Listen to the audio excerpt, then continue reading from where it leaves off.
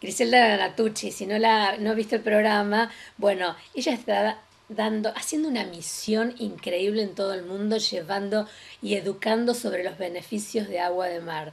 Y mucha gente que no tiene acceso también se les puede facilitar esto, el agua de mar. Pero se necesita mucho más voluntarios, ¿sí?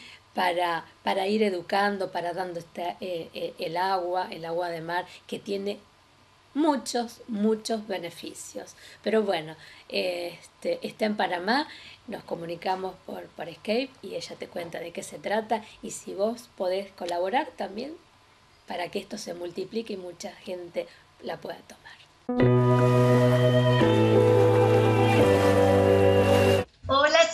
Qué alegría encontrarnos otra vez hoy. Acá desde Panamá, atención. Bueno, le cuento a la audiencia que salí de Argentina a fines de julio para grabar testimonios, que es lo que hago para mi canal en YouTube, de personas que se benefician con el uso del agua de mar. Me fui hasta Nicaragua porque nosotros considerábamos que Nicaragua era como la meca, ¿no? Para grabar, porque ahí los médicos prescriben, porque supuestamente el gobierno apoyaba esto del agua de mar pero bueno, eso era bastante mito lo que difundíamos. Ah, yo estuve ahí y pude comprobar que es cierto y que no. Hay cosas que no son ciertas. Entonces, este, regresando ahora ya de Nicaragua, voy haciendo el camino por tierra. Estuve por Costa Rica, ahora estoy en Panamá y mi regreso eh, a Argentina es el 12 de octubre. Mientras tanto, me voy conectando con gente como cadena de favores, que es también lo que estoy propiciando, además del uso del agua de mar ayudarnos entre todos a intercambiar, a conectarnos y hacer esta red cada vez más grande de personas que tomamos agua de mar, que hacemos este servicio de difundir los beneficios del agua de mar, pero que también estamos como conectándonos a nivel eh, humano, de solidaridad, ¿se entiende? Muchas veces idealizamos situaciones, personas, lugares y no nos valoramos a nosotros mismos, esas pequeñas acciones. Porque vos fíjate el otro día me decía la gente que me está alojando ahora en Panamá, eh, gracias por todo lo que estás brindando, por los videos. Y yo le digo, gracias a ustedes, porque si ustedes no, no, me ofrecieran el alojamiento, yo no puedo estar en Panamá, no puedo dar la charla que voy a dar la semana que viene. O sea, cada uno de nosotros en, esta, en este tablero que formamos, ¿no? la humanidad, cada piecita de nosotros es súper importante unos a otros, es lo que necesitamos, volver a ayudarnos entre nosotros. O sea, yo sentí un llamado del alma de hacer esto y yo no vendo agua de mar, eh, no estoy atendiendo pacientes para que esto me dé un dinero, nada, estoy haciendo esto eh, de confiar en el paso siguiente, a ver quién me recibe, para dónde voy, si alguien me ayuda a organizar una charla, si, si me conectan con algún testimonio para grabar, y así voy. Esto no es tan fácil, se aseguro que muchas veces es duro la incertidumbre de, bueno, por ejemplo, ahora yo ya prácticamente terminé las entrevistas, pero mi vuelo sale el 12 de octubre y es, bueno, ¿y ahora qué hago? ¿Para dónde voy? ¿Cómo me manejo? Porque yo no tengo a alguien que me financie. Ah.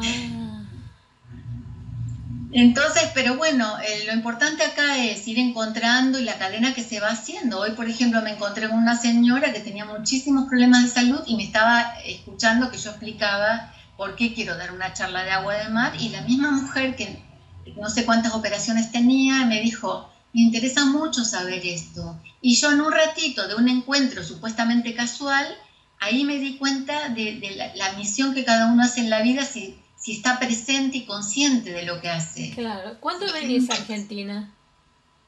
El vuelo lo tengo el 12 de octubre. Entonces ahora estoy viendo, eh, mañana voy a ir a un lugar que me ofrecen para dar una charla la semana próxima y seguir sembrando estas semillas, porque por ejemplo yo estoy acá y la gente que va a ir a la charla se va a conectar con, con quienes están ofreciendo el agua de mar en Panamá. Entonces se hace otra vez la conexión y esa conexión se va agrandando. Claro. Decime, yo soy una sembradora. Decime, ¿pensás venir a Rosario? Mira, Cecilia, yo voy, le digo a la gente, a donde ustedes me inviten, allá voy. Porque, porque así es, o sea, la diferencia a, a, organizar un viaje, decir, bueno, voy a ir yo porque se me ocurre, esto es como mi voluntariado es a donde me están llamando, ahí voy. Yo no cobro las charlas, ni las conexiones, ni las entrevistas, nada. La gente que me invita se supone que me, invita con todos los gastos pagos, ¿no? Y, obvio, Y es estar en la casa de las personas, es cocinar juntos con agua de mar, es intercambiarnos recetas, tips y todo lo que uno es, porque ahora yo siento que, que el verdadero conocimiento, la verdadera sabiduría, el aprendizaje real, Cecilia, yo siento que está en el compartir, En, el, en el interactuar, en la convivencia que hacemos los humanos, porque eso no te lo olvidas más. Cecilia, también lo importante es decirle a la gente que esté donde esté, que, en este momento nos esté escuchando y si le resuena esto del agua de mar, bueno, que entre en mi canal en YouTube ah, a ver las entrevistas, que puede poner Griselda Donatucci, después si ustedes quieren poner el enlace abajo del programa sería buenísimo. Y que también sepa que hay eh, una página que se llama Delfinianos WordPress con un directorio.